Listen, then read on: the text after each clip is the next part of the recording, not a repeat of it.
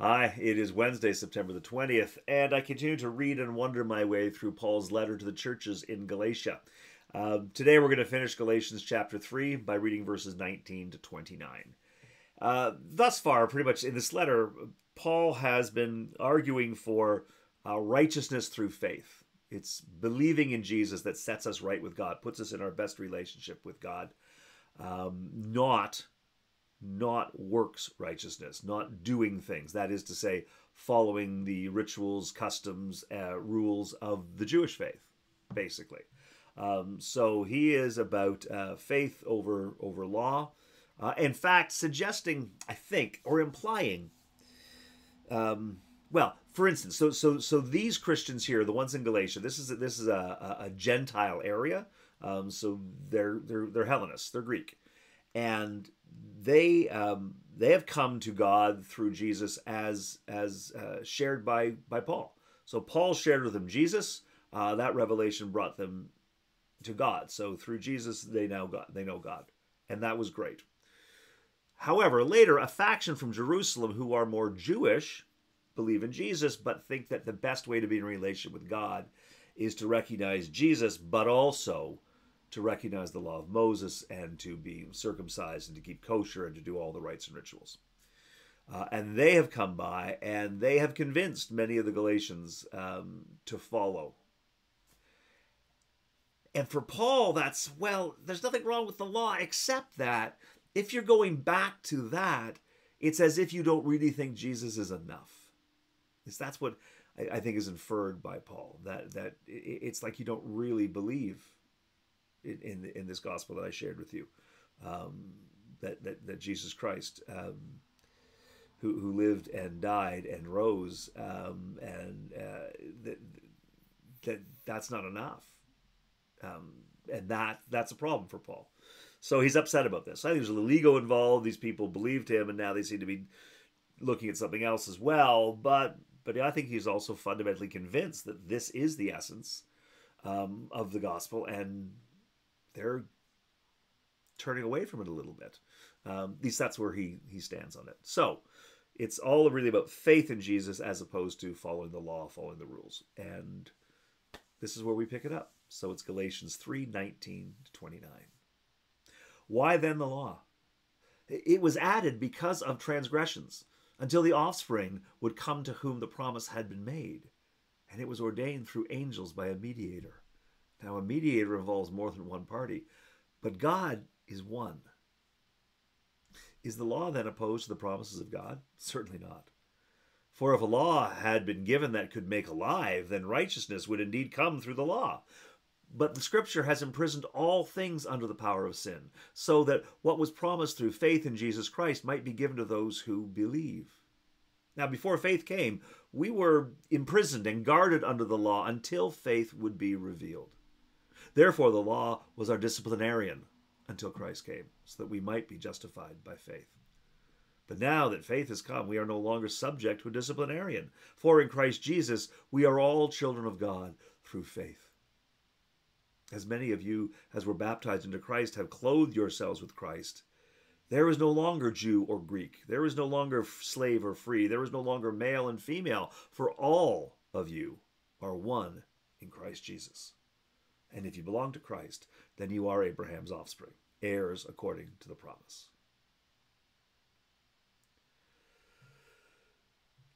So Paul is finishing the argument that we started, I think, I guess, yesterday, uh, or even the day before that. Um,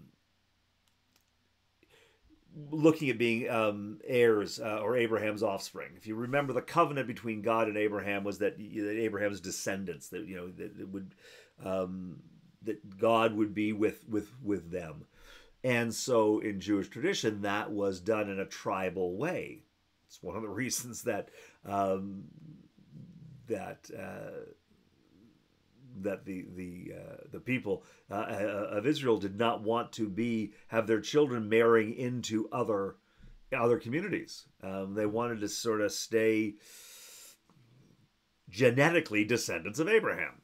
Uh, so that becomes a very, very big thing. Yes, you can sort of maybe convert, work your way in, but the primary, you know, the ones who arrived in the Mayflower, the old stock, um, the best of them uh, could trace their family back, right? And uh, I mean, we know that that's an important issue because Jesus, um, you know, is uh, is is born in Bethlehem to to um, assert the fact that his father Joseph is a descendant of David. That's why we had to go to Bethlehem, and it doesn't matter. But all of that is to go back to David, which goes back to Abraham. So we got to keep everything together. But Paul is saying, however, that but but if you believe as Abraham believed, then you are his offspring. And Abraham believed without all the rules and regulations. Abraham believed because God spoke to Abraham and Abraham trusted God. So, if you trust God, if you trust Jesus, if you trust that Jesus and God are one, all of that, then you are an offspring of Abraham. Doesn't matter who your parents were, or your grandparents, or your ancestors. What matters is that you have come to faith, you've come to God the same way that Abraham did. God spoke to Abraham. And, and in a sense, God speaks to us in Jesus. So listen, see, hear, and, and you're covered. That's that's sort of a, a simple way of looking at what Paul is saying. Um, and that's what he said there at the end. If you belong to Christ, then you are Abraham's offspring, heirs according to the promise. Right. I mean, he also says in that, I mean, it's a famous passage. Um, as many of you as were baptized into Christ have clothed yourselves with Christ, that is sort of put on Jesus, then there is no longer Jew or Greek, no longer slave or free, no longer male or female. So all of those distinctions, all those identities that we have, um, are basically buried under being one with Christ. So these are Greeks. And then there were these Jews, Christian Jews, Greek Christians, um, all of them. Uh, so, so, the Christian Jews, though, telling the Greeks that they should be more Jewish. And Paul and Paul saying there, there's no such thing as Jew or Greek anymore. Once you're in Christ, you're in Christ. We're done. So you don't need to be Jewish. You don't need to follow all those rules and regulations. That's what Paul is is, is asserting. Um, and while we're at it, you know what? Rich or poor, slave or free, male or female, none of those things actually matter as much as as much as being one in Christ. And I might wonder about that. You know, in a in a day and age when we when we do talk a lot, uh, we seem talk we seem to talk about it more now than when I was a kid. We do talk about identity and how we identify ourselves uh, in terms of in terms of gender. Um, uh, and you know, and I grew up in what was largely expressed as a binary world. I appreciate that it wasn't actually a lived binary world, but that's the way we talked about it, male or female. Um, so these days, as we talk about male and female and binary and non-binary and asexual and trans and all sorts of different types of identity and then we talk about sort of um, sexuality and sexual expression and, and and and so then we bring in uh, a variety of, uh, of, of queer expressions. Um, most people I know who who who would identify in in larger queer community, they don't want to be told that they are one in Christ and that their identity is a matter. oh no no you're no longer male or female. No no no no. They're saying no, but but I am I am I am I am I am I am a lesbian or I am a um, I am non binary. It's not that I'm not male or female. And in fact, I am kind of both and neither, not neither. And, you know, you know people will talk about being gender full, not genderless. Um, people will talk about being all sorts of different types of things. And, and that's important to us. Um, so for Paul to say none of that matters, that's hard thing for some people here today and and I have to wonder about that a little bit too.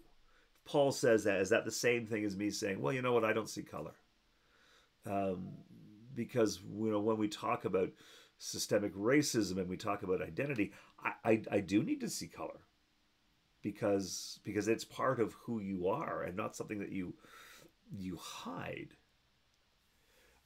But I think Paul wants us to understand that first and foremost, we belong to God first and foremost, we have found God in Jesus. And then, by the way, those other things, whatever those other things may be. That's when we can get into gender, sexuality, race, um, economic status. I mean, so many things that that identify us and impact on the way that we see the world and the way that we live in the world. Um, and on first blush, it would sound like Paul is saying none of those things matter. There is no longer, right? No longer Jew or Greek, slave or free, male or female. I wonder about that. I, I would I would be happier if Paul had said these things are no longer as important as the fact that you were baptized into Christ and have clothed yourself with Christ. Um, but Paul didn't say that. So I am left to wonder what would Paul say in the world today? Am I too fixated on a variety of expressions of of humanity, mine and others? Am I too fixated on those things? Should I just let them all go and just say, "Oh yeah, but we're all we're all one in Christ"? Um, and then what does that say to the ones who have not been baptized into Christ or clothed themselves with Christ? In fact, um, absolutely will not be clothed in Christ. Um, what does this say to you know? What does this say about my relationship with my with my Muslim friends, with my Buddhist friends, with my atheist friends? Uh, what does this say? Um, you know, in my relationship with with my Jewish friends. I mean, um, are we not? Am I not community with them too? Are they not in God? May not be in Christ, but can they not also be in God? Um, yeah, I would be. I would be fascinated to hear what Paul might say in the year 2023. Um, or whether Paul would just pack it in and go, I can't do this. yeah, I mean there are there are times that I will read about the early church and oh my god, I mean listen, Paul is well Paul will be martyred and thrown into prison and tracked down and terrible things happen to him. Absolutely. And I'll go, yeah, I know, but you've never had to sit through a board meeting. Um, you've never had to navigate some of the questions that that, that, that come up. Uh, but in fact, I realized they did come up. They did come up back then too. Paul didn't necessarily write about them, but yeah, they did come up. So I would be curious whether Paul might reconsider these words or whether I need to reconsider mine. Um, something to wonder about. I don't have an answer. Um, now, going back, um, it's interesting. So, so we try to explain. So, so why the law? That's what he says. Why the law? Well, it was added because of transgressions, which sort of makes it sound like having made a covenant with Abraham. God kind of maybe thought, hoped that we would just get it and we would live into that covenant and we would do it well. We would be good people. But we weren't. And so the law comes because of the transgressions, because we don't live into that covenant. We don't live into that relationship with God. So the transgressions uh, inspire the law. The law is to help us be the kind of people who can live in a relationship with God. And that's where it gets interesting. So Paul would say, help us to be those people, but but not it, it it's it, it's not the being in and of itself. It's helping us to be the kind of people who can have the relationship. It's not the relationship, but it helps us be the people who can have the relationship with God because then he says because the whole thing was that was that uh, the scripture has imprisoned all of all, is imprisoned all things under the power of sin so that what was promised through faith in Jesus Christ might be given to those who believe. So Paul here is implying all of this was to help make people ready to experience Jesus. Now, that does again what a lot of Paul's writing do does um, does what a lot of a lot of his other writings does does do. You know what I'm saying? Sorry. Uh, this causes this, the same problem that Paul often causes, which for me is as this Christian um, uh, supersessionism, just this idea that the Hebrew faith, the Jewish faith, uh, was only meant to be a stepping stone to Christianity. Now, I don't believe that. So does that put me at odds with Paul? Maybe. People say, well, why won't you believe that? Is it because you're not proud enough of your faith? Um, I like those very Galatians? You know, well, I'm sort of doing the Jewish thing, so I can be a more complete person. So Norm, you're still you're doing that ecumenical thing, so you're not going to offend anybody, be a, a better neighbor, a more complete person. But maybe you should actually just stick to the whole Jesus thing. Yeah, maybe. I mean, I, I listen to those words, I think about that. But as much as I am convinced that Christianity is my way, it brings me into my fullest relationship with God. Helps me realize my my own potential, my own value, my own worth, but also recognize God in the world. Um, Christianity does that for me, but it also keeps me humble enough to acknowledge that I may not have a complete picture. I may not be wrong, but I may not be complete. So I, I have to accept, personally, I accept that there may be other ways to be in a, in, in, in a relationship with God, a complete relationship with God.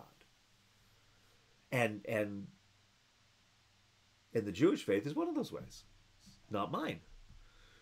But I, I shudder when I hear Paul basically dismissing the Jewish faith as a as a stepping stone to get to Christianity. I'm not surprised he does it. He was a faithful Jew. Right? And and and, and then he had this revelation of Jesus that, that, that changed everything. And now he is a very faithful follower of Jesus, what I would call a Christian.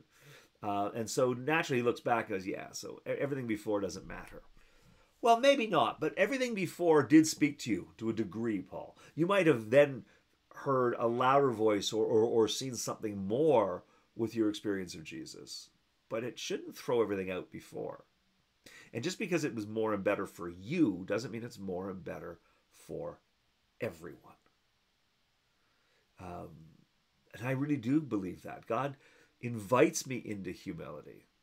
So I don't think that I am weakening my faith if I don't demand that you believe the way that I believe. Um, so I can read this passage and go, yeah. So so what the what what what the rules and regulations, what the Jewish faith was doing, was helping people be the kind of people who could be in a good relationship with God. Good news, along came Jesus, which is sort of a portal into that. Oh my gosh, now that I in Jesus I see God is actually in the world, then great. I am I yeah. You know, being a faithful Jew actually makes it easy for me to live into that. But it doesn't mean I have to live into that. I can also keep going the path that I am going. I am in a relationship with God. Is it the best relationship with God? Is Norm's relationship better, you know, than Simon's relationship with God? Hard to know, but I do remember Jesus saying, "The last shall be first, and the first shall be last," uh, which I don't think means that you know the twelfth in line is switched to the first in line and they trade places. I think it reminds us that the last and the first aren't really meaningful things. There isn't a hierarchy. We are all embraced and loved by God. So I think what Jesus, what Jesus, what Paul is trying to say here to the Galatians is you've already got it. So live into what you have. You know what? There isn't a hierarchy. You're not going to be more faithful by getting circumcised. Um, I mean, fine on them, but that was part of the nature of that relationship. But it's it's a tricky one because it's easy to sort of say, yeah, so the path that's best for me is the best path for everyone. Um, we all like a, you know, we, we like it simple. Man, if I just know the best path, I'll just go down that path. I don't have to worry about anything else. Don't know. Best path for you. Oh man, I mean, there's other paths out there. What if I didn't pick the best path for me? Should I dare I look at it? Well, yeah. What happens if it weakens what I? We're afraid. I think the fulsome faith, complete faith, is when we're not afraid, not afraid of new ideas, not afraid of anybody else's faith.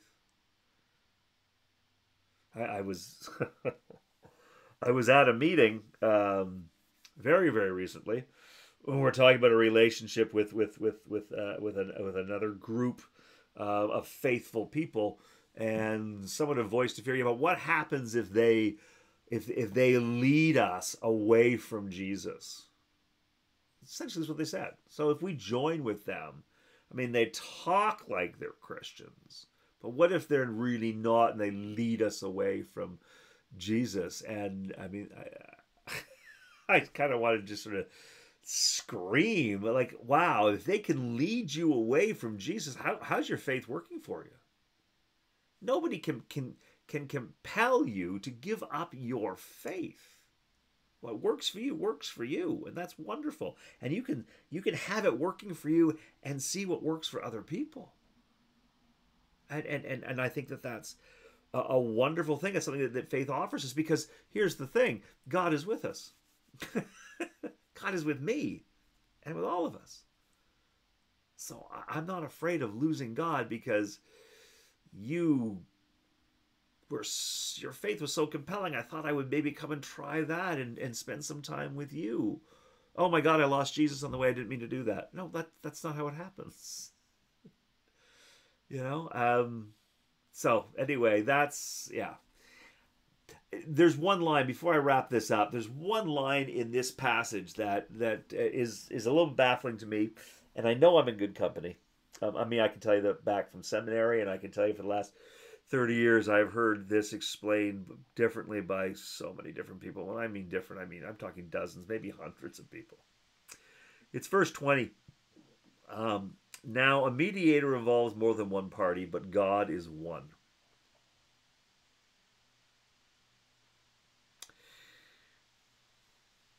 Um, say what? so what that means to me right now, again, this is this is Paul saying the law is fine and good, but it's not as good for him, and therefore for the rest of us, as far as he's concerned, but is not as good as that revelation of, of, of, of Jesus. Having experienced Jesus, knowing Jesus and God are one, there it is. You don't need anything else. Right? So, in that context, a mediator involves more than one party. So, to me, what we're talking about here is the covenant, right? The covenant um, that was um, delivered to Moses, right? Um, and some tradition delivered by angels to Moses. Uh, but the fact is, uh, there is this covenant. It's given to Moses. Moses brings to the people, uh, and and and there is some sense of negotiation being involved in all of that, right?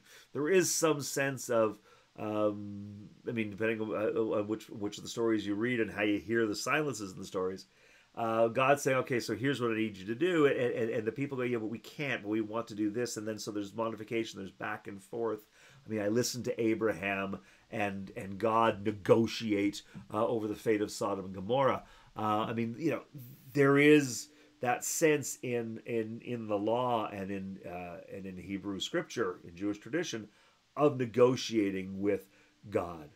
So there's a mediator, right? And so that's great. But God is one. So for me, that's what Paul is saying is so the mediated settlement's fine, but it is it is human and it is divine. But in Jesus we experience the divine. God is one. There's no this is not this was not mediated, this was simply presented. Here is God in the world. There you go.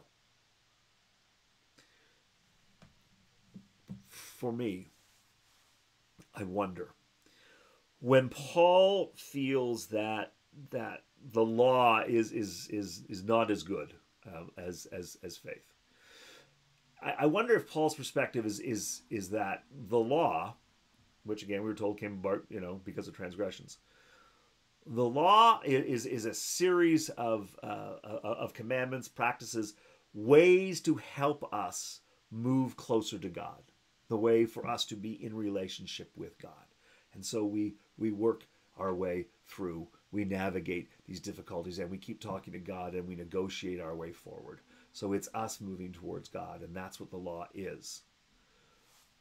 And it prepares us for in Paul's eyes the Jesus moment, which is when God comes to us. The law is us coming to God.